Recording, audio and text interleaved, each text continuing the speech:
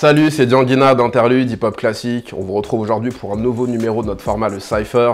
Et donc, on va encore une fois débattre d'un sujet hip hop. Comme d'habitude, je suis accompagné par mon fidèle, mon lieutenant, soldat, ça dit quoi C'est comment mon gars À la forme On est là, hein toujours là pour jouer le trouble fête, comme d'habitude. Comme d'habitude, hein, surtout quand tu sors des, des beaux waves comme ça. Ah, m'inspire, hein. On verra bien, on va Allez, les gars. On, on- on- on- on va, on- on va- on va en reparler tout à l'heure, t'inquiète pas. on va- on ok, va en ok, tout à l'heure. Bon, aujourd'hui, on est accompagné par également notre, euh, notre invité, un invité particulier que certains ont pu reconnaître, ou connaissent même peut-être, Ismaël Merighetti, euh, animateur au Move. Ismaël, ça dit quoi? Ça va super, je suis très content d'être à côté de Maze euh, 98. là. Yeah, Je suis intimidé même, genre. Ah, mais Je t'as- pas sapé pour l'occasion, tu vois ce que je T'es veux dire carrément intimidé. Oh non, non. T'inquiète pas, tu vas vite te rendre compte que t'as vraiment pas de quoi l'être. Donc, euh, c'est pas, pas, très grave. C'est pas très Ah, grave. Là, Bon, en tout cas, ça fait, ça fait plaisir d'être venu. Euh, alors, moi, c'est vrai que moi, je te connaissais surtout en tant qu'animateur, euh, de loin, au Move, etc., un petit peu sur les réseaux. Et depuis que tu as sorti ton livre avec Driver, j'ai l'impression qu'on te voit partout. Je crois que je t'ai même vu faire de la promo, même à l'étranger, il me semble. Exact, exact. J'ai l'impression que le livre. euh, Le livre fonctionne bien, on a sorti, ouais, bah j'étais là. J'étais là, 30 ouais, ans- exa- 30 ans au cœur du rap, en gros, c'est de la biographie de Driver. Ouais. Et en même temps, c'est un parcours dans l'histoire du rap français. Parce que Driver, il a côtoyé, vous l'avez reçu d'ailleurs. hein. Mmh, Tout à fait, exactement, tout à Il a il fait. a- il a- il a traversé toutes les époques, il a tout connu des débuts jusqu'à maintenant. Et euh, ce livre il fonctionne bien parce que j'avoue qu'on a de la chance, le public nous a suivis. Mais qu'est-ce qui fait que, selon toi, en fait, ce livre-là, il, il a l'air de. Parce que j'ai l'impression que même à la Fnac, il était bien placé. Hein. Ouais, ouais. Et qu'est-ce qui fait que, selon toi, ce livre-là, il parle plus aux gens que d'autres? Parce que en ce moment, on se rend compte qu'il y a il y a De plus une tendance, en fait, euh, de plus en Ouais. plus dans le rap français, Ouais. à ce que des gens viennent raconter leur histoire. Je Et pense qu'il y, y a plusieurs éléments. Je pense que le premier, c'est qu'on a taffé le truc vraiment comme un bel objet qui doit séduire tout le monde. d'accord. C'est-à-dire, vous voyez la, co- la cover, c'est Ouais. Fifou qui l'a réalisé comme pour un album de rap. C'est-à-dire, on a essayé de faire du livre, de l'objet livre, qui n'est Mm. pas forcément accessible pour tout le monde dans, dans les mentalités, un truc sexy déjà. Ouais. Et on s'est pris la tête sur tout, la typographie, les couleurs, tout. Tu vois, la couverture, elle te donne envie d'y aller. Ouais. Euh, ensuite, il y a le fait que Driver, c'est un, un agrégateur de public incroyable. Ah, de ouf. a Ah, clairement. tous les contenus qu'il fait. Mm. Et ce qui, moi, m'a intéressé, c'est qu'aussi, il brasse toutes les générations. Il y a des gens, qui, le- des anciens, qui le kiffent pour sa musique, des plus jeunes aussi qui le kiffent pour sa musique, Ouais. et puis des encore plus jeunes qui le kiffent pour tous les contenus qu'il fait, où il, il transmet la culture, va dire. Ouais, clairement. Donc déjà, lui, il agrège beaucoup de public. Et ensuite, euh, je pense que, alors ça c'est humblement, mais je pense qu'il a été écrit un peu comme un roman, euh, un truc un peu euh, comme une série que tu as envie de suivre et qui t'intéresse. Et je pense que les premiers retours ont, ont engrangé- On confirmait ça, quoi. ont confirmé tout ça, ouais. Ok, ok, ok, ok, ok. Et tu disais à l'étranger, effectivement, dès le début, on s'est retrouvé en Belgique, en Suisse, on fait une tournée dans toute la France, et les gens, ils ont l'air de kiffer, donc ça fait plaisir. Ok, ok, ok, ok. Bon, bah écoute, ça me fait vraiment plaisir également de te recevoir pour euh, que tu nous parles aussi un petit peu de ça. Euh, je l'ai pas lu, mais j'avoue que ça fait partie des livres que j'ai sur, euh, sur ma wishlist euh, depuis un bout de temps, donc, donc je pense que ce sera fait à un moment ou à un autre. Alors aujourd'hui, on va s'intéresser à une question qui est, j'ai envie de dire, restée un petit peu très longtemps insidieuse, ou du moins que très peu sont allés jusqu'à verbaliser jusque-là. C'est les sentiments assez contrastés de la rue par rapport à Solar. Et donc on va donc aujourd'hui parler d'MC Solar. Euh, lorsque mon pote il m'a suggéré au téléphone d'aborder ce sujet, j'entendais son sourire à l'autre bout du fil. Parce qu'il savait à coup sûr que c'était une question qui me ferait plaisir. Et pour le coup, là-dessus, il avait raison. C'est une question qui m'a fait plaisir. Euh, parler de hip-hop, ça a toujours été un hobby. Mais euh, s'épancher sur ce que je considère aujourd'hui à titre personnel comme le plus grand lyriciste de l'histoire du rap français, c'est autre chose. Alors, je sais que le terme sera discuté, n'y a pas de problème. Ce que je peux comprendre d'ailleurs. C'est vrai que d'autres MC peuvent clairement prétendre au trône, mais la place de Solar dans le débat est indiscutable, comme sa capacité à transcender le simple public rap. Ces jeux de mots auraient pu faire de lui un sérieux candidat au divan de, Ber- de Bernard Pivot sur apostrophe. Pour preuve, aujourd'hui j'ai encore le souvenir de ce cours de français en 5ème au collège Robert Desnos d'Orly, et je suis sûr que Kerry James saura très bien de quoi je parle s'il nous regarde, euh, où un prof nous avait distribué des polycopiés d'un texte de Solar en nous expliquant l'inspiration directe qui avait été la sienne pour l'Oulipo, un mouvement littéraire français né dans les années 60. La démarche de l'Oulipo était simple et consistait à encourager la créativité de la littérature française en écrivant sous le poids de contraintes stylistiques ou mathématiques. L'une des œuvres majeures sera celle d'un auteur que je vous invite à lire juste pour le délire, qui s'appelle Georges Perec et qui publiera en 69 un livre qui s'appelle La disparition. 300 pages sans qu'une seule fois apparaisse la lettre E, qui est la lettre la plus utilisée en français. Et, parmi pour, ceux parmi vous qui lèveront les yeux au ciel, je vous mets au défi d'écrire trois lignes sans cette lettre. Dans la simple phrase que je viens d'écrire, la lettre E est déjà revenue 17 fois. C'est de, cette école que vient Solar, celle des poètes, celle des amoureux des mots. Et si son talent lui a permis d'embrasser toute cette France des années 90 d'Ophélie Winter jusqu'aux enfoirés, ses confrères rappeurs et par conséquent la rue ont toujours été bien plus mitigés face à lui. Comment comprendre et surtout expliquer ce Roland de désamour pour ce qui est l'artiste hip-hop le plus français, le plus populaire de son époque? Bah, C'est ce qu'on va voir aujourd'hui. Et pour lancer le débat, je donne la parole à notre invité, Ismaël. Euh, ok, vaste, déjà, belle intro, euh, magnifique. magnifique. écoute. Euh, c'est intéressant ce truc-là, moi c'est aussi une question que je me suis posée pendant longtemps.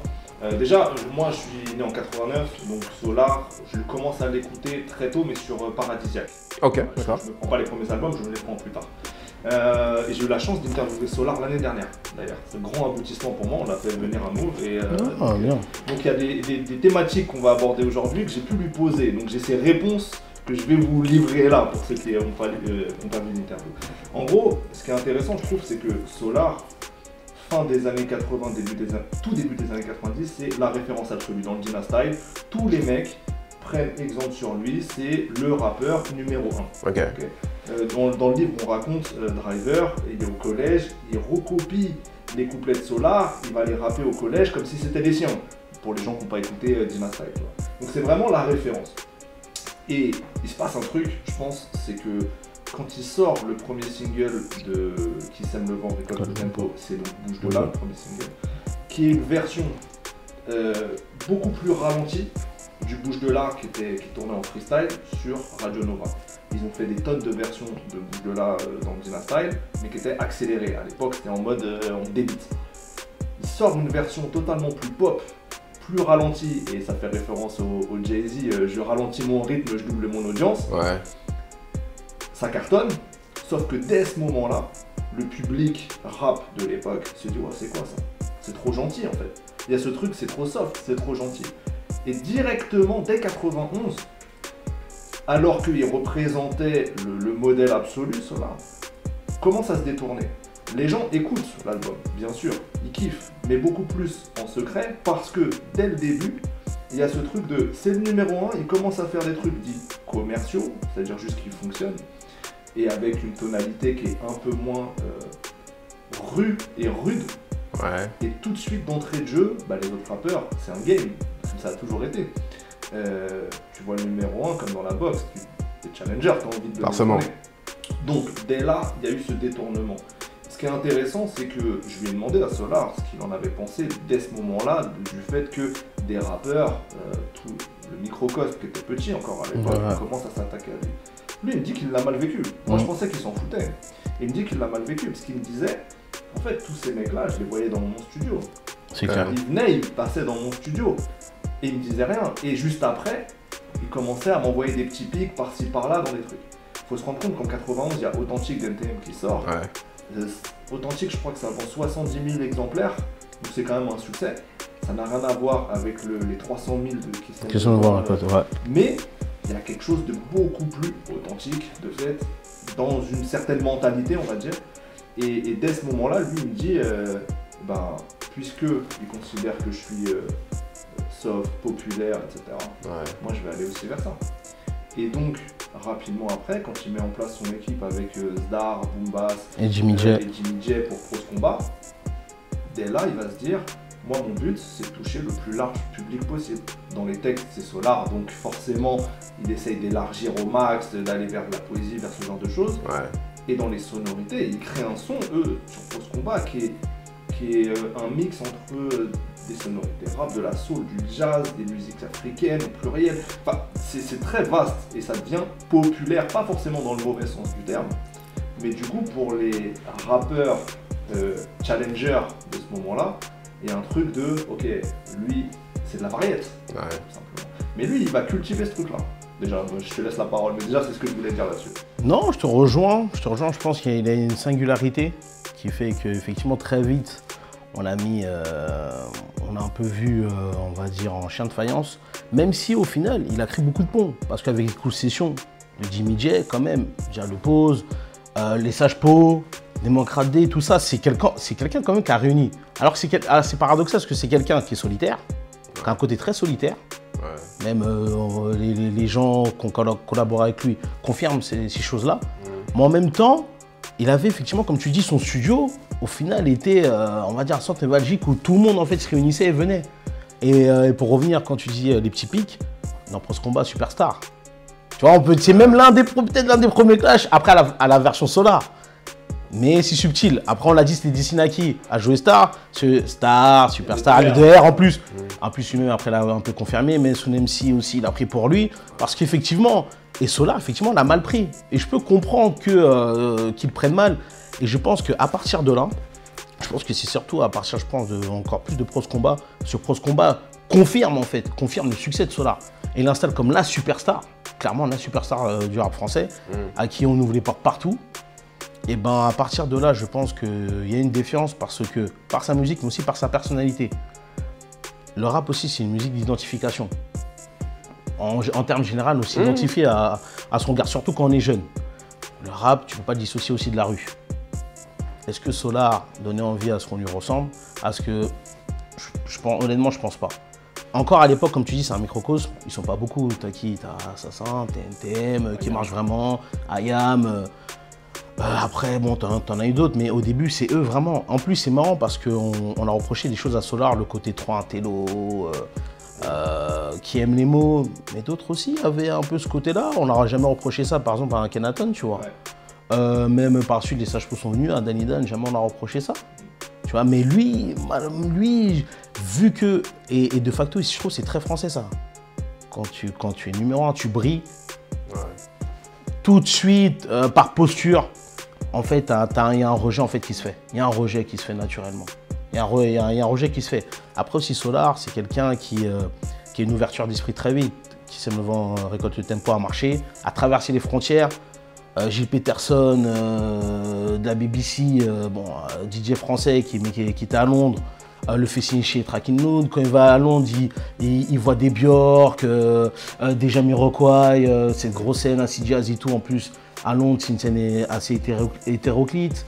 Qui fait qu'il y a une ouverture d'esprit très vite aussi chez, So- chez Solar, où il s'est pas enfermé en fait, il s'est pas enfermé dans quelque chose entre guillemets euh, qui le rend prisonnier euh, euh, de la condition euh, d'où il venait. Ouais, mais finalement, est-ce qu'avec le temps, il n'est pas devenu aussi un petit peu très jet set, un petit peu?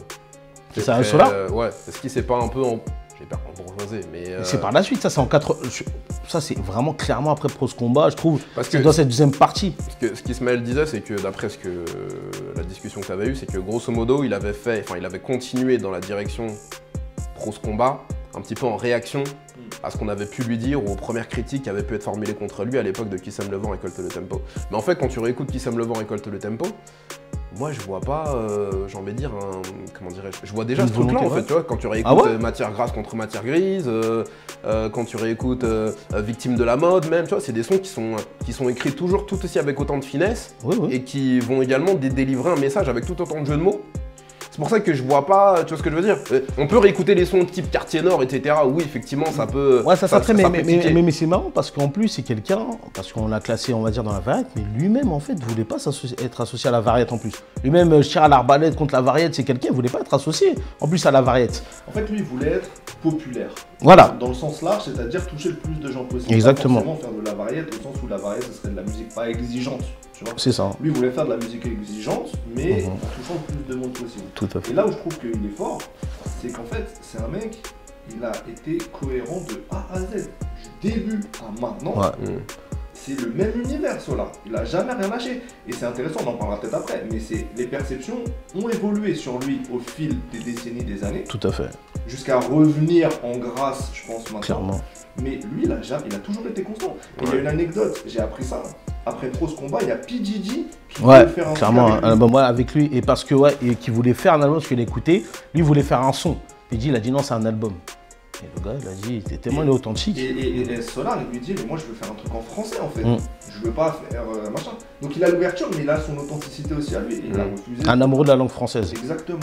Et, et je trouve que ouais, c'est à- tout à son honneur d'avoir euh, son univers et de pas l'avoir lâché. Après, on aime ou on n'aime pas. Et je pense que c'est juste l'évolution du rap qui avait besoin de prendre ses distances avec Solar puis de s'en rapprocher. tu Ouais. vois. c'est la réaction d'autrui en fait qui conditionne la vision de Solar. Ouais. Lui, il a pas bougé. Après, oui, mais après, en fait, c'est que autant le. Je pense qu'après, la, la musique de Solar, à la première écoute, n'est pas forcément accessible.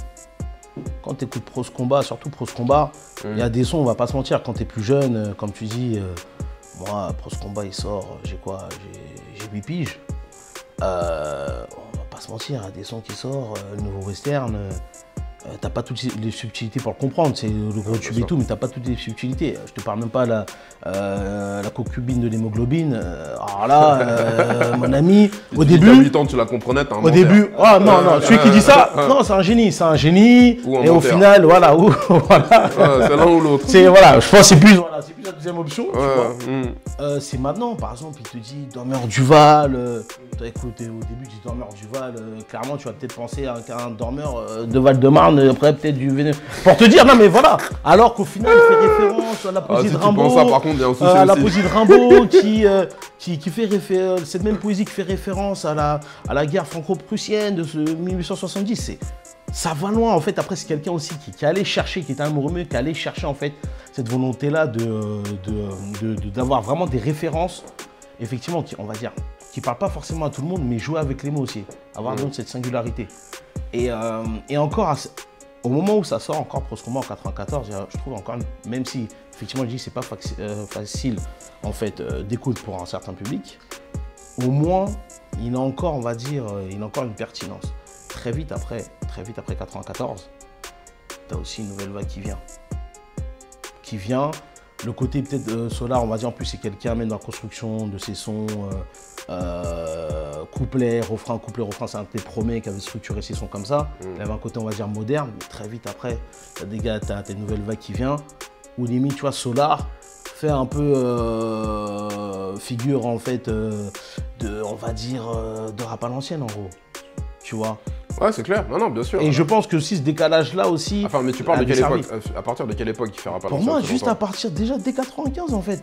La clica qui viennent et tout, qui commence à. Les Les nouvelles vagues qui viennent très Ouais, vite. ouais. Et ça vient très vite. Et tu vois, ça émerge super vite. À partir de 95, ça va trop vite. T'as toujours, ouais, des, toujours une, ça, ça émerge de partout, que ce soit la scène parisienne. euh, Non, il fait clairement partie. Oui, à ce moment-là, il apparaît aussi clairement, je pense, comme un OG. Euh, parce qu'il a de la bouteille. Et pour moi, c'est bien ça. C'est-à-dire que c'est le renouvellement permanent du rap Mhm. avec des jeunes générations. C'est une musique de jeunes. Ouais, bien sûr. Une nouvelle génération qui arrive. Alors, en fait, ça va vite maintenant, mais ça allait déjà vite à l'époque. hein, Ouais, effectivement, d'année en année, euh, quand Ayam ils sortent euh, l'école du micro d'argent, un an avant, ils avaient leur version de l'album, mais ils se mettent à jour avec euh, tous les autres qui arrivent, les time bombs, etc. Et tu vois, je trouve que MC Solar, du coup, malheureusement, il a juste la posture du pionnier. Du pionnier qui arrive et qui ouais. a besoin de tuer pour toi créer ton style. Et lui, il avait la lucidité, il me disait, moi, les mecs qui arrivaient et qui me taillaient, je disais, mais du coup, prenez votre créneau, vous avez raison. Mhm. Vous avez besoin de rejeter mon créneau pour aller dans le vôtre et forger votre style, faites-le, c'est normal. Ouais. Et ça, je trouve que c'est euh, c'est tout à fait logique. Il a juste été victime de sa position de leader au départ. Ouais. Et qui, euh, Ah non, bien sûr, bien sûr, c'est clair qu'il avait une position de leader. Après, je pense qu'il y a aussi le rôle ou la position un peu sociologique de, de, de Solar aussi avec le temps. J'ai l'impression qu'aussi, euh, le fait de pouvoir avoir été entre guillemets adoubé par euh, un public très bourgeois, peut-être très bobo, euh, a fait que les Accepté mecs par les médias. acceptés par les médias, tu vois. Alors que ceux qui, à cette époque-là, ont pris plus ou moins la relève, avaient bâti euh, vraiment leur image sur un rejet, un, un petit peu, enfin une espèce de contre-culture, tu vois. Alors que, alors que lui embrassait justement plus ou moins cette culture et un certain public. Je pense que ça, ça a pu le faire paraître un petit peu comme une espèce de traître à la cause. Ouais, devant du. en fait, Ouais. je pense que c'était ça le pire pour lui, c'est que c'est devenu une méga star d'une contre-culture. Ouais. Et en fait, euh, on n'avait pas envie d'être identifié aux gens qui disaient le rap c'est nul mais le solar c'est bien. Ouais. Parce qu'en fait, il y avait toute une, une frange comme ça de la population. Ah, le sûr. rap c'est de la merde. Par contre, Solar il est fort. hein. Ouais, par Il contre. est ouais. bien, hein. Ouais. c'est un vrai poète, etc. Ouais. Les Il, autres, c'est de la il est pas comme les autres. Ouais, ouais. Genre, NTM c'est du bruit, Ouais. mais euh, Solar, lui, on comprend ce qu'il dit, il rappe lentement, on comprend les mots, etc. Et donc, toi, je sais pas, t'es adolescent ou même jeune adulte, le, le rap, c'est une musique de contestation pour toi, c'est ta musique ou d'adolescence ou Mhm. machin. Mhm. T'as pas envie d'être assimilé aux darons ou aux grands darons qui te disent euh, Ah, nous, on respecte Solar. T'as pas envie d'écouter la même musique qu'eux, en fait. Ouais. Ouais, ouais, Et donc, je pense que c'est ce problème-là, le, le public qui a validé Solar, Ouais. la France entière, euh, t'avais pas envie d'en faire partie pour rester dans une contre-culture. en fait. Exactement. Exactement. Ah, c'est- Ouais. Encore, ouais, c'est une question de posture. Oui, c'est une très- question de c'est posture, très ouais. français. C'est de la posture là. Ouais, mais c'est vraiment- au final, c'est- c'est tu vois, c'est- c'est- c'est très français. C'est comme Fab, euh, par exemple, Fab, euh, on l'a associé à Nouveau Solar. Après, je peux comprendre tout de suite, lui, il a dit non, non, on ne connaît pas cette étiquette. Et il y a juste à voir dédain que va à Tara- à Taratata. Mmh, ouais, ouais. Ils, le prennent d'eau, ils se foutent de sa gueule ouvertement. euh, alors Solar, lui, effectivement, il est invité. Solar, il fait partie. On lui déroule le Il tapis fait partie, on lui déroule le tapis rouge, tu fais partie de la famille, viens, on t'accepte. Ah bah, et- On, on l'a accepté au final, mais après, après non, parce que euh, au- au- ouais, après non, mais il avait Ça, ça a joué. et, et ça, mais ça a énormément joué parce que les 97, je crois, première. ouais ouais et, les enfoirés, euh, c'était vu. Alors là, clairement, Là, c'est là, c'était- c'est vraiment. Là, Là, t'es- là, on là, t'as un clés de la traître là, maison, là, la maison, mais là, t'es vu comme un euh, traître, qui a trahi, euh, Ouais. qui a trahi vraiment le mouvement. euh, non, t'es- tu fais plus partie des nôtres. Comment tu peux t'associer à Quand j'étais petit peu, je comprenais pas, tu vois. Je comprenais pas. C'était le seul en plus, tu vois. Ouais. Ah, Je clairement. comprenais, c'était, je crois, que c'était limite le seul vraiment en plus euh, des enfoirés en vrai. Ouais, Je ouais, je sais pas Non, si mais c'est Yannick Noah ou que- non. Ouais, Ah ouais, oui. peut-être, ouais, peut-être. Oui, voilà, mais Ouais. c'était, mais, mais, mais lui, t'es vraiment, voilà, Mais vraiment te dis, qu'est-ce que tu que vois Ouais, Non, non, mais bien sûr. Normalement, t'es avec, t'es un peu, normalement, t'es avec nous, t'es pas. Ouais, T'es pas avec eux, voilà. Et en plus, euh, il y a même, c'est tellement les populaires, sa marionnette au minicum. Ouais, bien Tu sûr. bah sûr, oui, bien sûr, parce que les il faut, pas oublier que ils te- ils ils t'ont pris pour toucher à la jeunesse Ah ouais, euh, MC, ouais. un peu les, les, les têtes du moment. Tu vois, et Claude MC, t'avais l'Antoine Deco, Nagui et tout, et t'as d'autres Claude MC, tu vois. Voilà. C'est pour dire à quel point sa popularité, et aussi, pour, qu'il y a- je pense qu'il est le pinacle de sa popularité, il attrape au fil de Winter. Ouais. Et ça a rendu jaloux aussi encore plus de personnes. Ah, le salopard. C'était vraiment Solar qui a cité. Et c'est qui Sago? C'est Ophelai. Et Ophelai, là, parce que à l'époque, les gens Ophelai, Ça ouais. ah, Dieu m'a donné la foi. Ah, Voilà. Dieu aussi lui a donné les tétés. T'inquiète pas qu'il y en a plein qui voulaient ça. Ah, et Solar, c'est le salaud, il a tout. En fait, il a tout pour lui. Putain, le salaud, il a vraiment tout pour lui. Ouais. Donc, secrètement, ceux qui jalousaient, t'en fais pas. Quand, au fond, ils disaient, j'aimerais mettre à sa place. Mais au moins, comme, comme, comme, comme a dit Isma, c'est, il est authentique. Ouais. Ça, on peut pas lui reprocher. Elle a toujours été authentique. Et, euh, et... Je me demande d'ailleurs, mais je me demande même d'ailleurs si Ophélie Winter ne s'est pas servi clairement du côté, euh, enfin du côté euh, Renoir déjà de Solar euh, pour sa propre carrière, qu'elle-même essaie plus ou moins de d'axer sur un côté très musique noire. en fait, ouais, ouais, clairement. Je, me- enfin, je me demande, hein, j'ai cette euh, réflexion-là qui me traverse la tête. euh, Je, franchement, là, en après, live, ça, ça je- serait. Je, sais pas. Je, ne sais pas, ça serait peut-être aller trop loin. Elle pouvait se mettre un peu euh, comme Ah, ça. parce que tu sais très bien que quand on a un certain niveau de popularité, tu cherches plus simplement la meuf ou le mec, tu vois ce que je veux dire On en parlait l'autre jour, je sais plus pour quel, euh, quel artiste. C'était Ke- Kenny. Exactement, tout à fait. Tu recherches aussi des personnes qui puissent plus ou moins te servir dans ta carrière, tu vois. Mm, mm, mm. Euh, Au niveau de l'image elle, je pense qu'elle lui servait, parce qu'elle était populaire, elle marchait bien, euh, elle était, euh, tu vois, elle était clairement tendance. Et lui, je pense qu'il avait également plus ou moins, euh, tu vois, ce, il véhiculait un truc. Il pour les- il vois, les Il la validait, j'ai l'impression, il la validait dans son créneau de musique noire, en fait. Je pense, hein. Enfin, c'est comme ça que je vois les choses. Qu'est-ce que t'en penses? Non, c'est ta, réflexion, euh, ta réflexion, je Il lui donnait une caution. euh, oui, que, je me souviens de cette ligne de Youssoufa quand il dit sur euh, Éternel recommencement être black, c'est un don et pas un délit, un délire pour être coté dans le RB, ma petite Ophélie. Tu vois ce que je veux dire? Ouais. T'as vraiment l'impression qu'elle avait besoin, je pense aussi, d'une espèce de caution euh, plus ou moins renois pour valider vraiment. Euh, c'est une réflexion que j'ai, hein, peut-être que je me trompe et si Ophélie. Winter Après, non, mais après, euh, c'est une réflexion forcément que, que tu as vue de l'extérieur. Ouais. Au final, euh, ça, c'est des suppositions qu'on peut dire, mais ta supposition n'est pas dénuée de sens. Ah, de là même. Je pense que, que, euh, que, que ça se ferait, tu vois. Non, non, que que ça se ferait, et c'est même quelque chose, par contre, où, par contre, pour ça, je trouve, il faisait à des gens. euh, par contre, tu vois, quand j'étais plus jeune, par contre, le gars disait Ah, mais ah, quand même, euh, Claude MC, ah, MC, il a attrapé au fait là, ah oui. Tu vois, là, par contre, là, tu vois, là, par contre, tu vois, nos grands frères et tout, là, par contre, disaient Bon, ok, d'accord, là, on te valide. Autant sur Il les sons. respect, il y a un Exact, il y avait un respect. Autant pour les sons. Autant pour les sons, et je pense que pour beaucoup d'entre nous, que soit nos grands frères, ou les grands frères de nos gars, ou grands cousins, bref, tu vois, dans, le milieu on a grandi, ouais, Solar n'était pas validé. Il y avait, il y avait ce rejet, tu vois, qui, il, y il il avait ce rejet, c'est-à-dire qu'il y avait ce rejet-là, et même pour dire ce rejet, comme on dit par rapport à ses congénères, à part la haine, on a vu invité où Solar? Il a collaboré sur quel autre compile Ouais.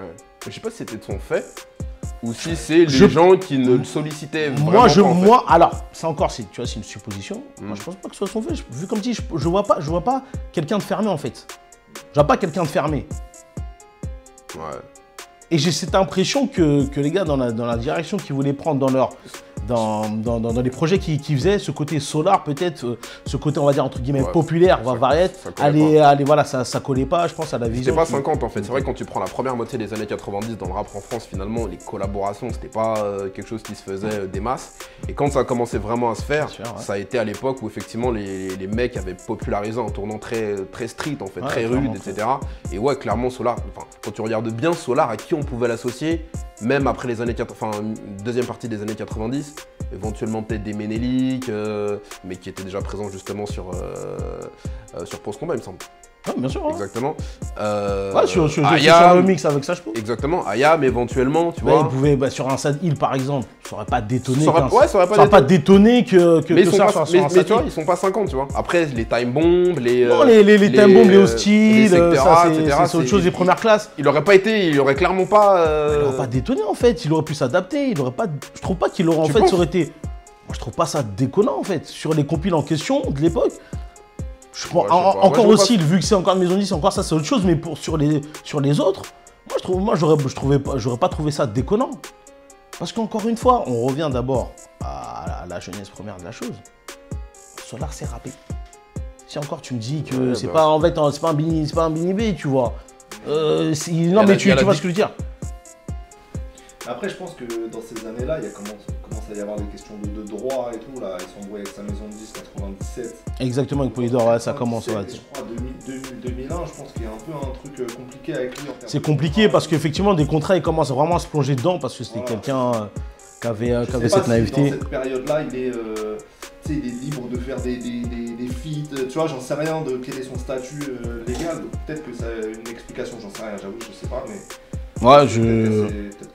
Mais en tout cas, ce qui est, ce qui est, ce qui est fou, c'est que je pense que ce mec-là, en fait, c'est le premier à être devenu plus gros que le rap, c'est-à-dire être devenu une star française, ah, mais clairement. de devenir euh, une star du rap. Ah non, mais clairement, c'est vrai, c'est la première. Je t'ai dit, c'est la première superstar du rap. Clairement, elle est établie, ça. Pour rejoindre ce que tu, dis, euh, ce que tu disais tout à l'heure, ça en France, on n'aime pas. C'est-à-dire mm, quand mm, tu mm. dépasses ton milieu, comme pour James. James, à un moment, c'est devenu une méga star française, indépendamment d'être une star du rap. À un moment, ton public de base, il se détourne, il en a marre. Parce qu'en France, on est, on est comme ça. Je pense que Solar, il a, il, a, il a pas dit ça. Mais ce qui est intéressant, je trouve, c'est que euh, comme ces albums ont été indisponibles pendant longtemps, euh, c'est ça. mais ils ont été indisponibles à partir de. Ben, déjà, il n'y avait plus de rotation radio. Je crois dès 2000 déjà. T'écoutais pas, il n'y avait plus de rotation radio déjà de ces sons. Exact, déjà. Et après, effectivement, dès qu'il y a eu le streaming, t'écoutais plus ces sons. Donc, il y a la génération entre guillemets 2000. Solar, la vérité, ils l'ont pas connu. il, fait quelques, il fait quelques, il fait trois albums, je crois, dans les années 2000 qui, marchent bien. Euh, mais après, dès, la fin des années 2000 jusqu'à récemment, en gros, il disparaît, lui. Ses albums sont plus trop dispo. Et c'est là que se reconstitue le patrimoine Solar. Parce qu'il y a des rappeurs, tu parlais de Youssoufa tout à l'heure, qui commencent à le citer. Ouais, où il est Solar, on aimerait bien faire un feat, on aimerait bien machin. Et, c'est là qu'il est redevenu, comme quoi l'absence parfois ça a du bon, il est redevenu. Très bon. Euh, très comptable et, euh, et surtout euh, respecté vraiment dans le milieu du rap. En mode, hé les gars, oubliez pas ce pionnier, il était trop fort. Et, je pense qu'on est passé aussi à l'époque 2010, etc., où le succès, on a, on a, un rapport différent au succès dans le rap. Ouais. Euh, et je pense que. on accepte en fait cette ouverture, effectivement, c'est une ouverture. Et, le fait que ces sons n'aient pas été dispo, c'est peut-être la meilleure. Euh, meilleure chose. Bénédiction pour son héritage. Mais après, il y a aussi la maturité de chacun. Parce que euh, il y a ça aussi, je pense que même nous, en tant qu'auditeurs, pour beaucoup, Solar, c'est à partir, on va dire, de la vingtaine où vraiment, on a commencé vraiment à le réécouter à vraiment à, réapprécier cela, à dire ok parce qu'on avait cette maturité nécessaire. Je pense pour beaucoup c'est cette ouverture d'esprit nécessaire pour clairement euh, m'entendre. Parce que les rappeurs le, citaient, j'ai dit oui, mais c'est parce que aussi euh, pour, beaucoup on était plus mature en fait, on était plus apte en fait à comprendre la musique de Solar et à l'apprécier. Non, bien sûr. Mais je me demande d'ailleurs si dans le rejet à un moment donné de Solar par euh, une large partie, on va dire, du enfin, de la street, mhm. de manière générale, je me demande même s'il n'y avait pas aussi une espèce d'incompréhension face à sa musique. Oui, Parce que sa, musique, très honnêtement, même euh, en ayant fait euh, quelques études, etc., sur certains textes, il faut se poser, tu vois, pour comprendre véritablement jusqu'où il va, en fait, tu vois. Et c'est là que je trouve que l'artiste en lui-même est aussi très accompli. Parce qu'un artiste, un bon artiste, pour moi, un mec qui arrive à faire un bon album, tu sais, c'est un album qui peut s'écouter parfois sur différents registres. et sur lequel tu peux avoir différentes écoutes. Ouais, Tu, vois, tu, peux, ouais, tu peux le comprendre, tu peux écouter Nouveau Western pour déconner, tu vois. le- je trouve le son euh, entraînant, etc. Le sample de Gainsbourg. tout Exactement, ça. exactement. Mais tu peux également l'écouter dans, dans les lyrics, essayer de décortiquer. Tu comprends les jeux de mots finalement avec le temps et les années. Ce que tu dis, c'est fou parce que euh, je vous disais au début que je découvre Solar avec Paradisiac. Ouais. C'est 97, je Ouais, crois. 97, c'est ça. Exact. Et je l'écoute quand j'ai 8 piges. Euh, et je kiffe, sans comprendre, je pense, euh, plus de la moitié des trucs. Ouais. Je kiffe. Ouais. Il arrive à toucher un gosse de 8 ans. Et là, je l'ai réécouté quand il est redevenu dispo sur les plateformes, parce que j'avais perdu le CD en plus. Et donc, je l'ai réécouté, et évidemment, j'ai kiffé, j'ai découvert d'autres trucs. Donc, c'est dingue de se dire, t'es en 97, tu fais du rap, tu touches sans faire de la merde, sans faire un truc euh, de, Mm. De dance party, je sais pas quoi, tu touches un homme de 8 ans, tu touches des, des, des darons, c'est dingue en fait. Ouais, ouais, Ce, ouais. ce talent-là, il est, il est assez impressionnant. Non, ce, ce talent-là, comme tu dis, il est impressionnant et même des, des sons qu'à la première écoute tu vas kiffer. Hmm, En plus, c'est ça parce qu'il se bonifie en plus avec le temps. Parce que exactement. comme tu dis, tu parles de nouveau western, à obsolète qu'on est sorti, Paradisiac, euh, Gangster Gangster moderne. moderne. Incroyable. Mais quand tu les réécoutes, en fait, tu dis, en plus, en, en plus, en parlant de succès, Mm. pour dire qu'il euh, qu'a sacralisé aussi son succès, et je pense qu'il y a la posture des gens vis-à-vis de lui, c'est victoire, euh, aux victoires de la musique. Ouais. Il est interprète masculin de l'année et il, il gagne euh, le- la victoire aussi par rapport au, vi- au- au- au clip de Nouveau Western. Mm. Ah, c'est clairement, ça te pose, ça te pose euh, le gars quand même. Ouais. Interprète masculin de l'année, c'est pas là dans, dans, la, dans la catégorie entre guillemets rap purement, tu vois, non. Ouais. Interprète masculin de l'année. Ouais. À partir de là, clairement là, oui, effectivement, il, il- il est plus qu'adoubé. Et ça veut dire quelque chose, mais même aussi au niveau de l'image. Tu vois, quand tu vois la pochette de Pros Combat, Ouais. que ce soit à la couverture de la deuxième, tu vois ce visuel-là, le clip, je t'ai dit, du, nouveau, de nouveau western. Le clip en 94 sur un clip comme ça, il est incroyable. Il est incroyable, techniquement, il est, il est incroyable. Donc tu vois, déjà Solar, il avait quand même déjà. Après, il aussi était très bien entouré. Si on parle, si on parle d'un point de vue artistique, l'équipe qu'il y avait sur Pros Combat, c'est plus la même qu'il y a sur euh, Paradisiac. Ouais. Et ça se ressent, moi, je trouve, dans, dans la qualité, euh, Hmm, dans, dans la qualité de l'album. ok. Parce qu'il y, a il y a une session malheureusement avec Jimmy J, tu vois, euh, qui se fait. Euh, Barney Dar avec. Ouais, Bombas, euh, bah, on crée euh, Bombas et fond en plus euh, Dom, bah, la French Touch et tout avec, euh, Mm. avec euh, les Daft Punk et compagnie.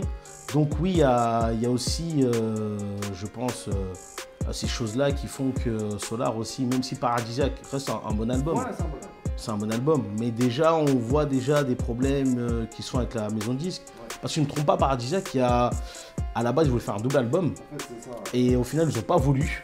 Ils ont sorti le quatrième. Voilà, Exactement. C'est Solar, Solar, ça s'appelle Solar, ouais.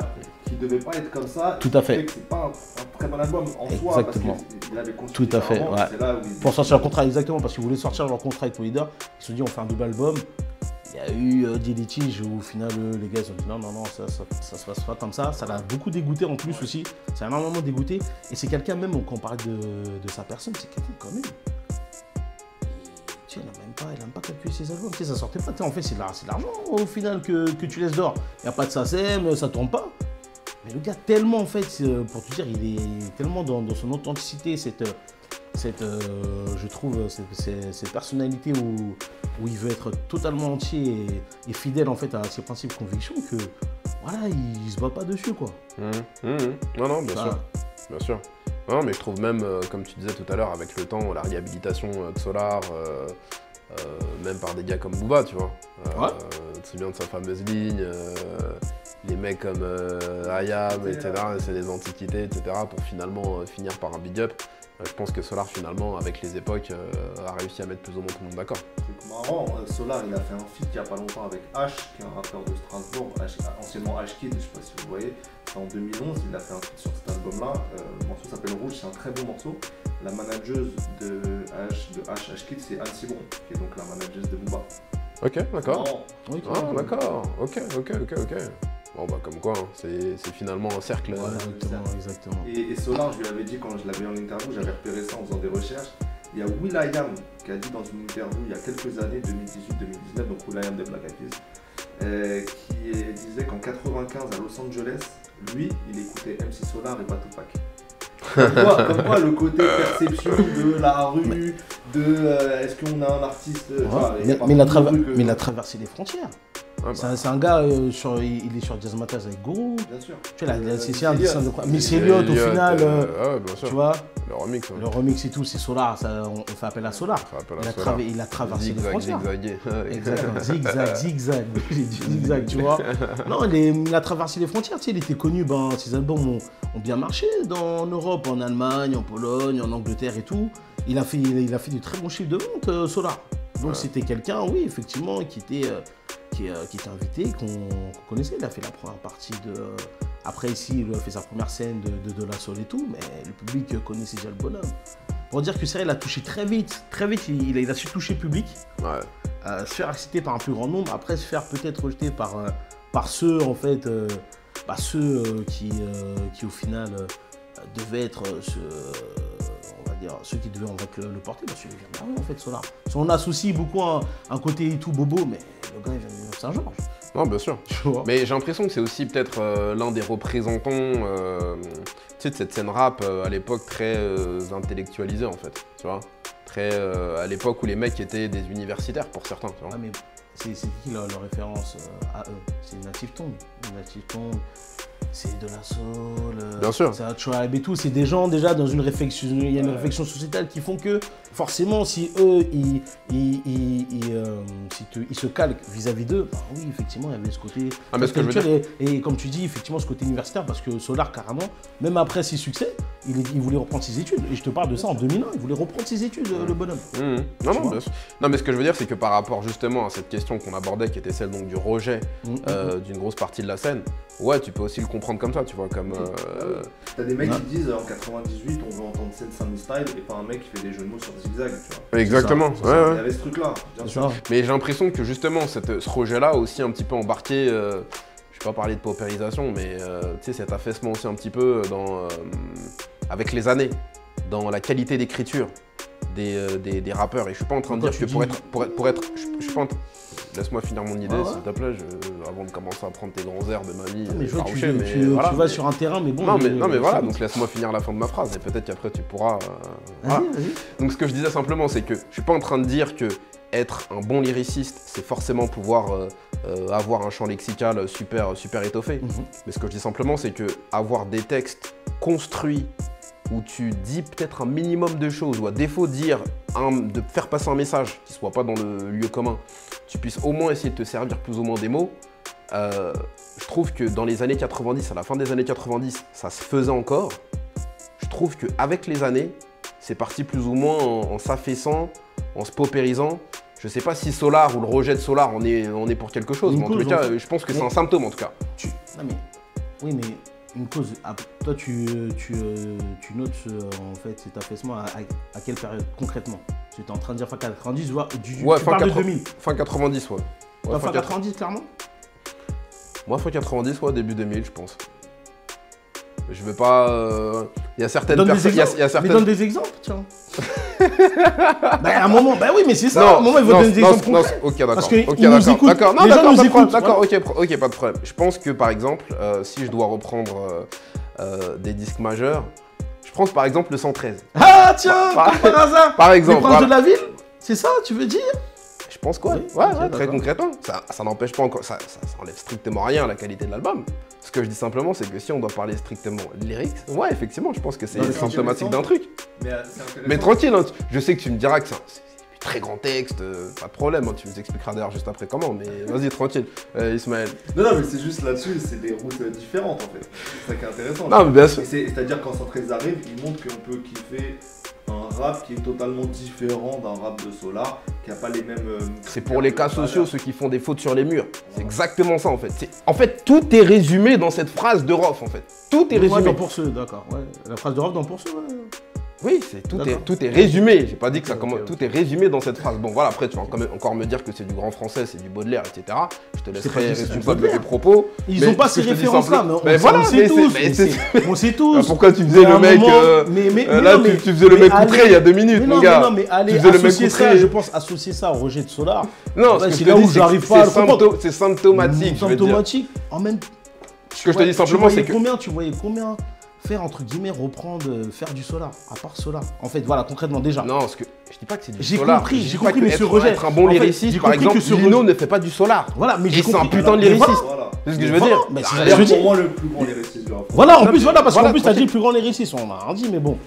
Voilà. D'accord, donc oui, mais si tu t'en souviens et que tu n'es pas totalement de mauvaise foi comme à ton- habitude dans 90% du temps, tu te souviens que j'ai dit que c'était un- un- une place qui pouvait clairement être discutée. Donc euh, fais pas le mec, euh, encore une fois, outré ou à jouer la Vierge effarouchée à tout bout de champ, s'il te plaît. S'il te plaît, t'as signé du 9-4, c'est un grand lyriciste. S'il te plaît. on va pas commencer à sortir les dossiers ici, les garçons. Donc reste tranquille, tout va bien se passer. Il y a un montage de tout ça. il y a- Mais bien sûr, mais on sait, mais on sait, t'inquiète pas.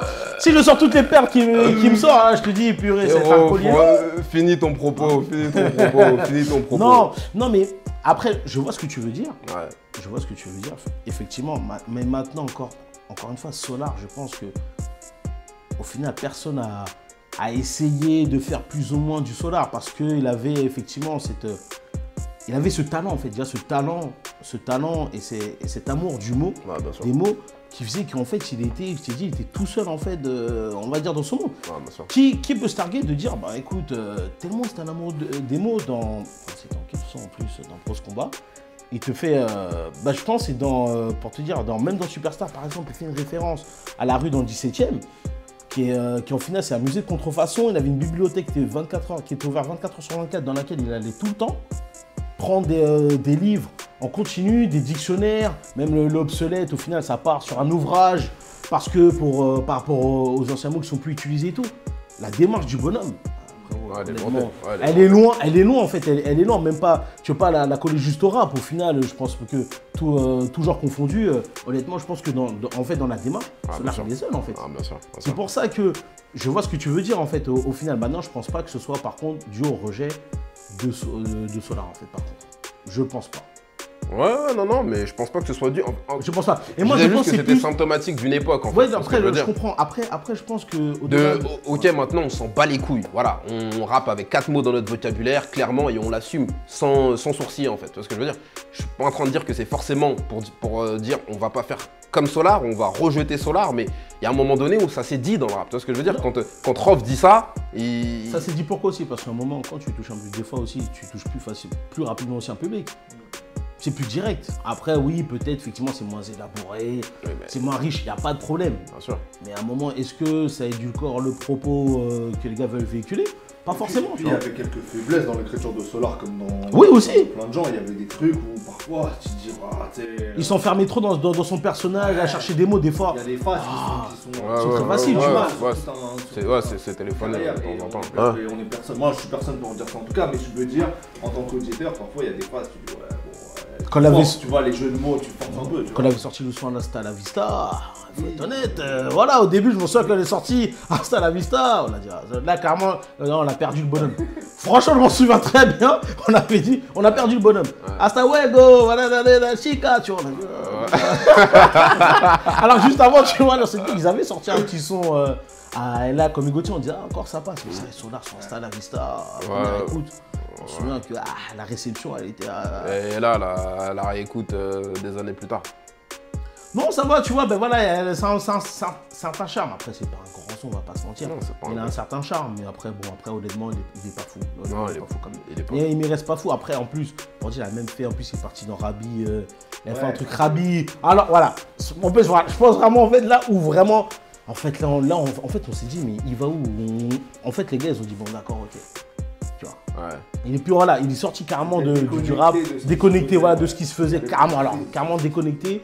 On s'est dit, non, bah là, au final, c'est plus, en fait, ouais, c'est plus un rappeur. Bon, en fait, il, a épousé clairement, euh, en fait, euh, la varette et ce qui s'ensuit, quoi. Bon, je pense qu'on a fait euh, clairement le tour de la question par rapport à Solar. hein. Faut écouter Solar, en tout cas. Pour Ah, tous faut ceux qui écouter. n'ont jamais écouté. Non, bien sûr. Solar. Franchement, écoutez, surtout, vraiment, on va pas. Je pense que Pros Combat est un album plus que majeur Ah, c'est top C'est 10 du une pièce français. euh, indiscutable, indiscuté. Indiscutable, euh, clairement, bien sûr. Que ce soit à tout niveau, au niveau de l'écriture, des prods, le, le travail de production d'album. euh, Le rôle que l'album a eu pour la, la carrière de Solar aussi, surtout. Solar. Donc euh, ouais non non bien sûr j'invite tout le monde et tous ceux qui nous écoutent et qui sont pas très familiers de Solar à aller écouter ou réécouter Solar, tous les classiques, tous les Mhm. chefs-d'œuvre. Encore une fois je le redis, ça n'engage que moi. C'est pour moi le plus grand lyriciste du rap français, mais encore une fois c'est totalement discutable et j'entends, hein, tu places Lino 1, c'est ça? Ouais, je pense. Ok d'accord. Et toi? Oui Rimka, ok d'accord, d'accord, pas de problème. oh tranquille, Ouais, tranquille, les gars va venir te soulever, tu sais, on est juste à- Non mais tranquille, mais c'est pas une insulte, t'as le droit de mettre Rimka en... T'as vu comment tu l'as dit Pourquoi Non tu- mais non, non mais quand arrête, s'il non te mais je plaît, sais fais que t'es un, semblant. je sais que t'es un fan de Ouais. 113. T'es un fan de 113 Moi j'ai bien fan de Non, 113 j'ai- non, non, fan, non, je suis Bon pas fan. d'accord. Non mais je joue pas sur les tu mots, commences voilà. à renier, euh, toi, le jour du jugement dernier, j'espère que tu renieras pas comme ça aussi. Hein. Mais Mon ami, euh, t'as déjà le fait au fait, s'il te plaît, avec Oh. tout ce que tu dis. hein. ne commence pas, frérot, déjà d'une. J'allais te Bah, dire bah- soit Lino, le plus grand les récits, j'allais te dire soit Lino ou Booba, Ouais, c'est ça. Ok. honnêtement. Ok, Voilà. d'accord, d'accord, d'accord. Et carrément, vu qu'il dit Lino, ben, je dirais Booba.